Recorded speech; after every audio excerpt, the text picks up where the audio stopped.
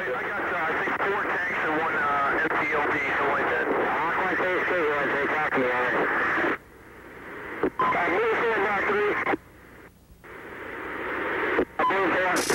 Roger, I was in contact and he said, uh, as soon as they stop shooting, they're going to stop shooting. One, three, is that right? Sir, I was lined up. You sent a mark 3 yet? Over.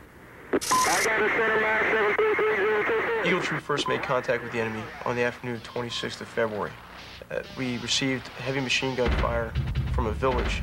I ordered the two tank platoons to come online abreast of my tank, and we fired a volley of high explosive anti-tank rounds. When the tank rounds impacted into the village, large holes, almost the size of the entire wall itself of the cinder block building, were blown into the buildings.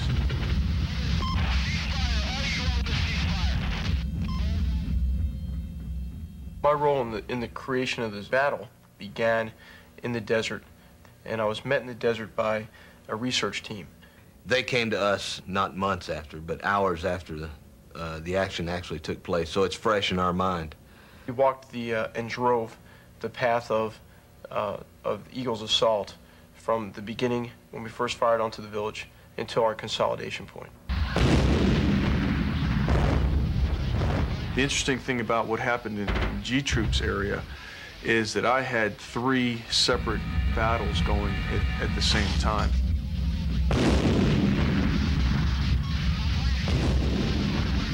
I troop hit a, a dug-in force oriented roughly in our direction.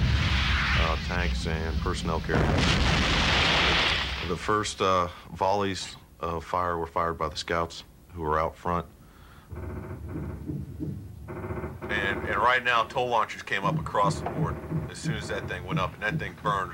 That was that was one of those infamous volcano Okay. deals. change the weather, we can change the Iraqi tactics, we can give them weapons they didn't have, we can give ourselves future weapons that we would like to have. There was no time to feel any emotion. There was no time to to uh, to feel any fear. I found myself as I watched this battle, just I could feel the adrenaline flowing. I was I could feel my my palms start to sweat. I was uh, surprised and delighted to to hear comments from several of the participants in the battle. That's exactly what it was like. If you sit behind a tank night sight and you look out of the thermals, it's just like looking out of a tank. It can take and test ideas against a set measure. So we can measure the delta. If an says, I can do better than that, I say, step up, son, do better than that. It's group training at the combat level that we never had before. We can test future ideas, concepts, tactics, doctrine, and vehicles because we now have a benchmark that's rooted in ground truth. So we- we're looking at a possibility that can really change our understanding of war. What also is making me feel good that we weren't forgotten.